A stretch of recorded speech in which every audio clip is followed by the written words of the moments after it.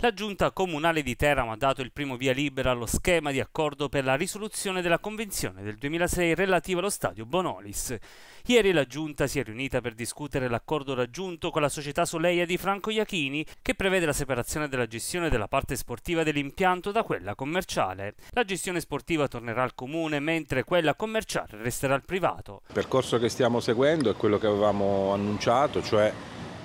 la definizione di un accordo transattivo che è finalizzato a chiudere il lodo arbitrale ma soprattutto a risolvere eh, definitivamente la convenzione che ha creato tanti problemi sulla gestione dello stadio, una risoluzione che passa per la separazione tra la parte sportiva e quella commerciale, eh, quindi con eh, il comune che riprende la gestione sportiva dello, dello, stadio superando tutti i problemi che nel corso di questi anni eh, purtroppo si sono verificati. Eh, la Giunta ieri ha approvato lo schema di accordo che è frutto e figlio delle trattative eh, lunghe, complesse che nel corso di questi mesi sono state portate avanti con il gestore che ringrazio per il confronto che fino adesso abbiamo, abbiamo portato e adesso si apre la fase invece di eh, discussione in Consiglio Comunale che è l'organo competente a deliberare sulla risoluzione. L'accordo prevede che il Comune versi 4,3 milioni di euro alla Soleia, di cui 2 milioni in anticipo. Questo atto conclude una complessa trattativa tra le parti caratterizzata da momenti di tensione ora superati.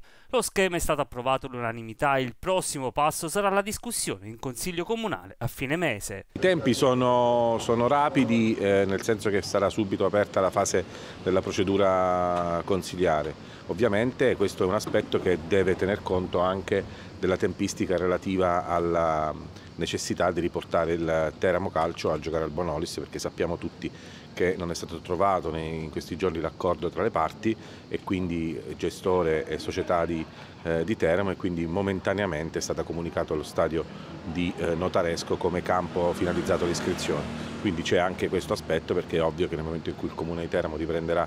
la gestione dello stadio eh, ci sarà appunto la, la comunicazione alla federazione che peraltro ho già anticipato sul fatto che il Teramo giocherà al Bonolis.